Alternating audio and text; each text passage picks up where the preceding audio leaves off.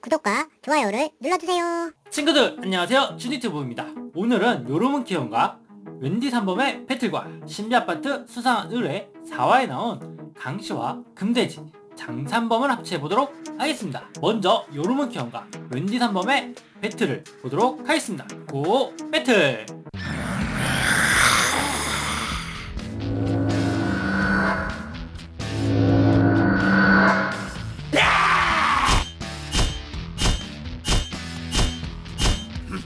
얼음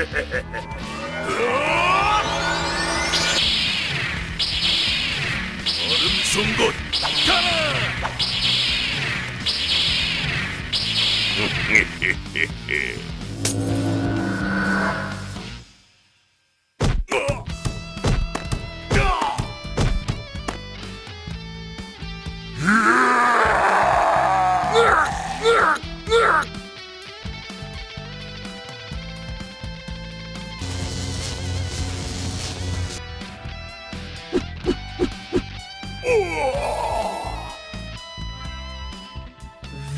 리 학교가 끝나고 강림이는 강시의 공격을 받습니다. 엄청난 힘에 밀려 강림이는 날아가 버립니다. 넘어진 강림이를 향해 다시 공격하는 강시. 공격을 피하고 반격하는 강림이.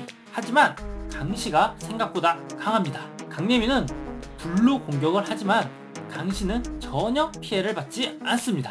당황한 강림이. 그때 뒤에 나타난 무식이를 강시가 공격합니다. 무식이가 공격당하기 직전 금돼지가 날아와 강시를 덮칩니다. 금돼지의 공격에도 바로 일어난 강시 주위를 둘러보더니 갑자기 도망을 칩니다. 그럼 오늘 싸운 강시와 금돼지를 합체해보도록 하겠습니다. 합체 스타트!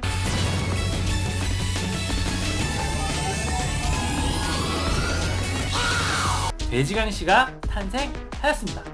금돼지의 힘과 강시의 강철 같은 몸으로 돌진하여 적을 공격할 수 있습니다.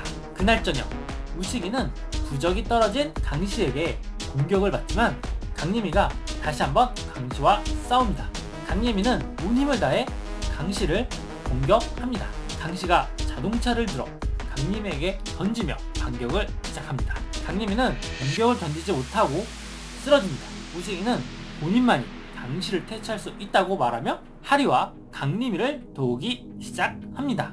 다시 강시에게 돌진하는 강림이 장산범을 소환하는 하리 장산범은 강시를 공격하고 붙잡는데 성공합니다. 기회를 놓치지 않고 강림이도 나무를 소환해서 강시를 붙잡습니다. 우식이는 이 기회를 놓치지 않고 강시의 이마에 부적을 붙여 봉인합니다. 그렇게 강시는 다시 봉인되어 땅속에 묻히게 됩니다.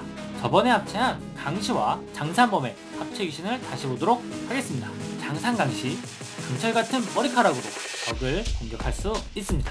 이렇게 강시 삼형제가 탄생하였습니다. 다음에는 신비아파트 수상한 노래 5화에 나오는 귀신들을 가지고 돌아오도록 하겠습니다. 그럼 구독과 좋아요, 알람 부탁드립니다. 안녕!